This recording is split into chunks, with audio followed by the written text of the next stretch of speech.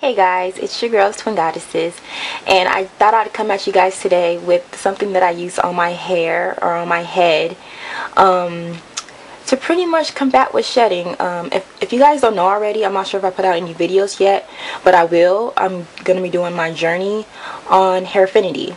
And um, one thing I have noticed using Hairfinity or any other hair growth supplements or, excuse me, or um, hair growth products is excessive shedding. When your hair is growing at a rapid speed, it's quite normal for your hair to shed.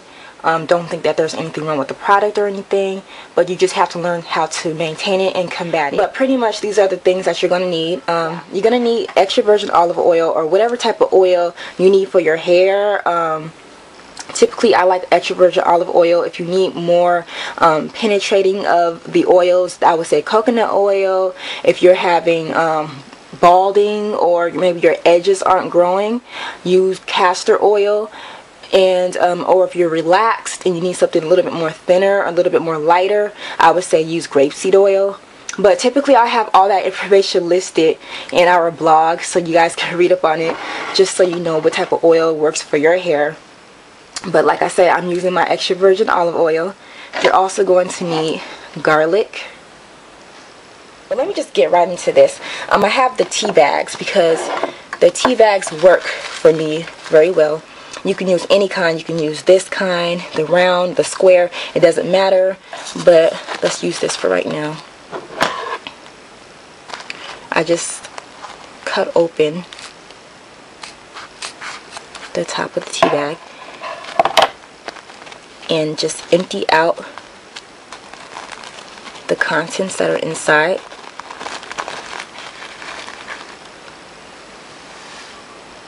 And you can save that for your black tea um, um, rinses. And what I'm going to do now is take a tablespoon of that garlic. And this is really messy, so I will advise you to do this like over the sink. And just apply it inside. And now what I do is I take, either you can take a stapler or you can take, um, you can thread it shut.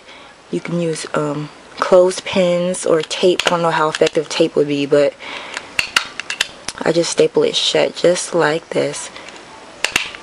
There you have it. I already have another one in there already because I'm making a lot because I make some for me and my sister.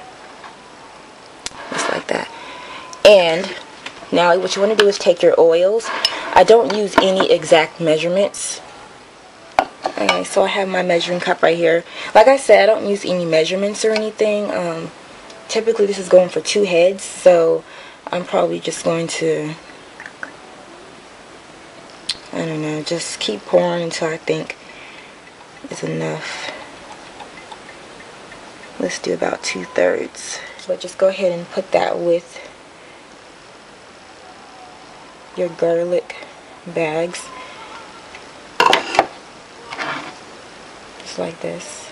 But I'm going to go ahead and put this in the microwave to get it all heated up just so the the garlic can infuse my oils okay? So I'll be right back with that all heated up okay?